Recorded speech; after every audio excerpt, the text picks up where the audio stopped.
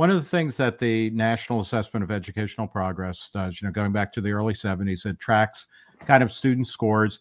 Uh, they've been pretty flat, and depending on how you calculate it, we're spending two to three times as much per pupil in real inflation adjusted terms.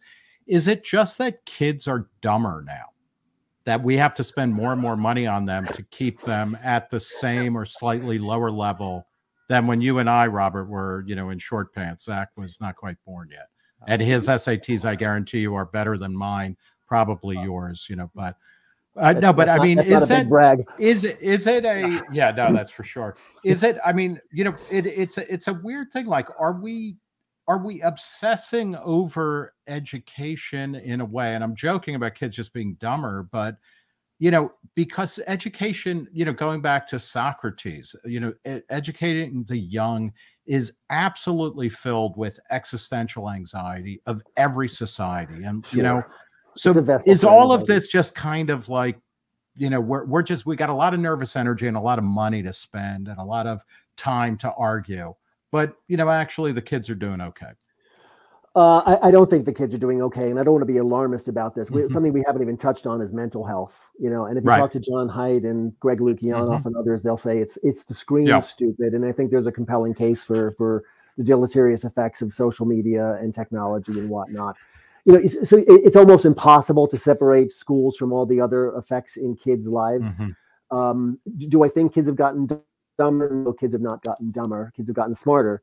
Um, do I think we have gotten accidentally less good at educating them? Probably, uh, and it, and it probably has to do with some of the factors we talked about earlier, Nick, about how there wasn't there didn't used to be a lot of question about what you did in school all day, and the more sophisticated we've gotten yeah. in terms of trying to raise levels of you know problem solving and critical thinking. We've actually got, made it worse, not better. You've got the issue of of who becomes a teacher. Um, you know, uh, nobody should want women to, to to to leave law and medicine and whatnot mm-hmm. and go mm-hmm. back into the classroom. But but if you think about, I'll, I'll bet like you, like me, Nick, some of your teachers in retrospect were women who today would have been doing much more remunerative things than they did 40 or 50 mm-hmm. years ago it, it's a Gordian knot. You know, I, I am thinking also, you know, the amount of environmental lead was so much higher. You know, and lead gets a bad rap, but I don't know when you know when we were mm-hmm. chewing on lead paint and breathing in lead gasoline air fumes. I don't know. Yeah. We seem to be doing better as a uh, as a society.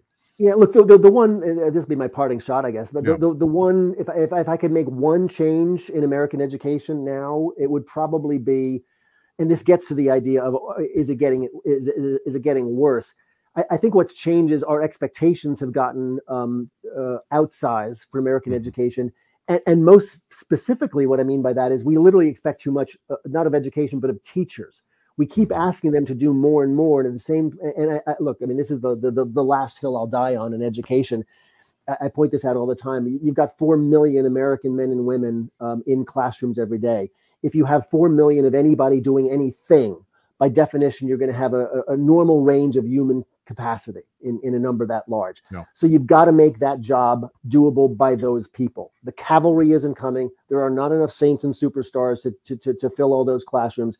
We've got to reconceive the job of, of, of teacher to be doable by men and women of ordinary sentience, because that's who we have and that's all we're ever going to have.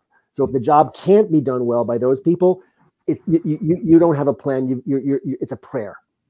Hey, I'm Nick Gillespie with Reason. If you liked what you saw there, please click on the link below in the show notes and watch our entire live stream with Robert Pondiscio of AEI talking about school choices, promises, and perils. Every Thursday, Zach Weissmuller and I do a live stream, a live unscripted conversation. Anything can happen, anything can be said.